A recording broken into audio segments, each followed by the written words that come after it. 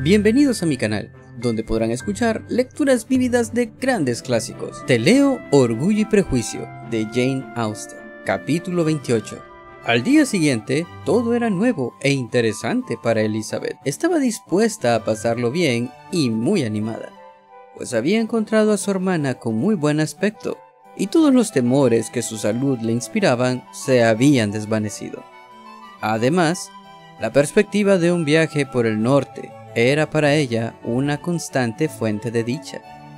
Cuando dejaron el camino real para entrar en el sendero de Hunsford, los ojos de todos buscaban la casa del párroco, y a cada revuelta creían que iban a divisarla. A un lado del sendero corría la empalizada de la finca de Rossins. Elizabeth sonrió al acordarse de todo lo que había oído decir de sus habitantes. Por fin vislumbraron la casa parroquial. El jardín se extendía hasta el camino. La casa se alzaba en medio, la verde empalizada y el seto de laurel indicaban que ya habían llegado. Collins y Charlotte aparecieron en la puerta, y el carruaje se detuvo ante una pequeña entrada que conducía a la casa a través de un caminito de gravilla. Entre saludos y sonrisas generales, en un momento se bajaron todos del landó alegrándose mutuamente al verse. La señora Collins dio la bienvenida a su amiga con el más sincero agrado, y Elizabeth, al ser recibida con tanto cariño, estaba cada vez más contenta de haber venido. Observó al instante que las maneras de su primo no habían cambiado con el matrimonio. Su rígida cortesía era exactamente la misma de antes, y la tuvo varios minutos en la puerta para hacerle preguntas sobre toda la familia. Sin más dilación que las observaciones de Collins a sus huéspedes sobre la pulcritud de la entrada, entraron en la casa. Una vez en el recibidor, Collins, con rimbombante formalidad, les dio por segunda vez la bienvenida a su humilde casa, repitiéndoles punto por punto el ofrecimiento que su mujer les había hecho de servirles un refresco. Elizabeth estaba preparada para verlo ahora en su ambiente, y no pudo menos que pensar que al mostrarles las buenas proporciones de la estancia, su aspecto y su mobiliario, Collins se dirigía especialmente a ella, como si deseara hacerle sentir lo que había perdido al rechazarle. Pero aunque todo parecía reluciente y confortable, Elizabeth no pudo gratificarle con ninguna señal de arrepentimiento, sino que más bien se admiraba de que su amiga pudiese tener un aspecto tan alegre con semejante compañero. Cuando Collins decía algo que forzosamente tenía que avergonzar a su mujer, lo que sucedía no pocas veces, Elizabeth volvía involuntariamente los ojos hacia Charlotte. Una vez o dos pudo descubrir que ésta se sonrojaba ligeramente, pero, por lo común, Charlotte hacía como que no le oía. Después de estar sentados durante un rato, el suficiente para admirar todos y cada uno de los muebles desde el aparador de la rejilla de la chimenea, y para contar el viaje y todo lo que habían pasado en Londres, el señor Collins les invitó a dar un paseo por el jardín, que era grande y bien trazado, y de cuyo cuidado se encargaba él personalmente. Trabajar en el jardín era uno de sus más respetados placeres. Elizabeth admiró la seriedad con la que Charlotte hablaba de lo saludable que era para Collins y confesó que ella misma lo animaba a hacerlo siempre que le fuera posible. Guiándoles a través de todas las sendas y recovecos y sin dejarles apenas tiempo de expresar las alabanzas que le exigía, les fue señalando todas las vistas con una minuciosidad que estaba muy por encima de su belleza. Enumeraba los campos que se divisaban en todas las direcciones y decía cuántos árboles había en cada uno. Pero de todas las vistas de las que su jardín, o la campiña, o todo el reino podía enardecerse, no había otra que pudiese compararse a la de Rosings, que se descubría a través de un claro de los árboles que limitaban la finca en la parte opuesta a la fachada de su casa. La mansión era bonita, moderna, y estaba muy bien situada, en una elevación del terreno. Desde el jardín, Collins hubiese querido llevarles a recorrer sus dos praderas, pero las señoras no iban calzadas a propósito para andar por hierba aún helada y desistieron.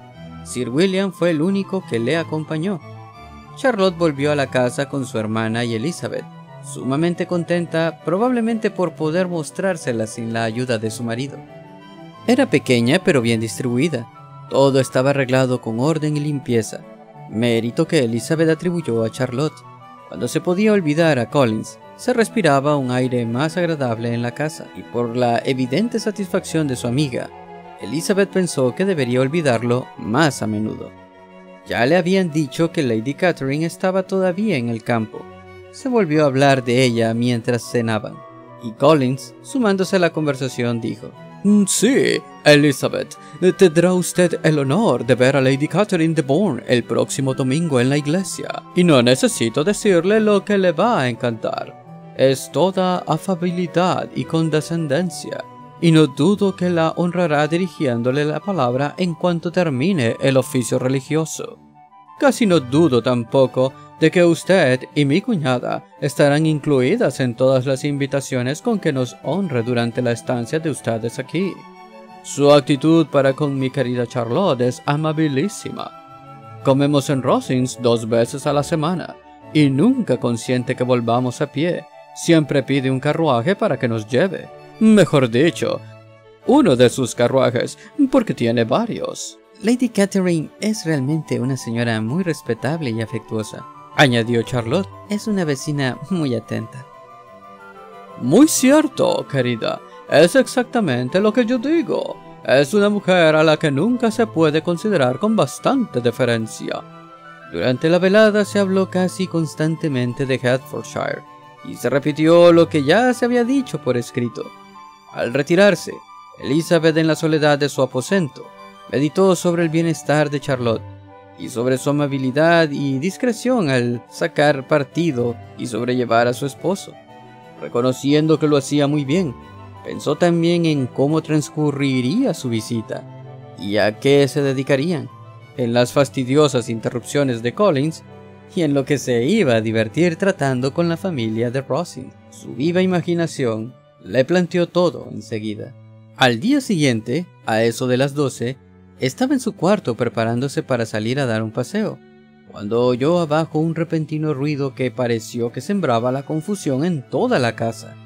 Escuchó un momento y advirtió que alguien subía la escalera apresuradamente y la llamaba a voces. Abrió la puerta y en el corredor se encontró con María, agitadísima y sin aliento, que exclamó Oh, Elizabeth, querida, date prisa, baja al comedor y verás. No puedo decirte lo que es. Corre, ven enseguida. En vano preguntó Elizabeth lo que pasaba. María no quiso decirle más. Ambas acudieron al comedor, cuyas ventanas daban al camino, para ver la maravilla. Esta consistía sencillamente en dos señoras que estaban paradas en la puerta del jardín en un faetón bajo. Y eso es todo, exclamó Elizabeth. Esperaba por lo menos que los puercos hubiesen invadido el jardín. Y no veo más que a Lady Catherine y a su hija. Oh, querida, repuso María extrañadísima por la equivocación. No es Lady Catherine. La mayor es la señora Jenkinson, que vive con ellas. La otra es la señorita de Bourne. Mírala bien, es una criaturita. ¿Quién habría creído que era tan pequeña y tan delgada? Es una grosería tener a Charlotte en la puerta con el viento que hace. porque no entra esa señorita? Charlotte dice que casi nunca lo hace. Sería el mayor de los favores que la señorita de Bourne entrase en la casa. Me gusta su aspecto, dijo Elizabeth, pensando en otras cosas. Parece enferma y malhumorada. Mm, sí, es la mujer apropiada para él. Collins y su esposa conversaban con las dos señoras en la verja del jardín y Elizabeth se divertía de lo lindo viendo a Sir William en la puerta de la entrada, sumido en la contemplación de la grandeza que tenía ante sí y haciendo una reverencia cada vez que la señorita de Bourne dirigía la mirada hacia donde él estaba. Agotada la conversación, las señoras siguieron su camino y los demás entraron en la casa. Collins, en cuanto vio a las dos muchachas, las felicitó por la suerte que habían tenido Dicha suerte, según aclaró Charlotte, era que estaban todos invitados a cenar en Rosings al día siguiente. Muchas gracias por haber escuchado hasta aquí. Si te ha gustado recuerda darle un like, compartirlo y coméntame si te parece que esto que acabamos de escuchar se parece a las adaptaciones que han hecho en el cine o en la televisión de esta fantástica obra. También recuerda suscribirte para que me apoyes mucho al crecimiento de este canal. Sin más que agregar, nos vemos en el siguiente capítulo. Hasta pronto.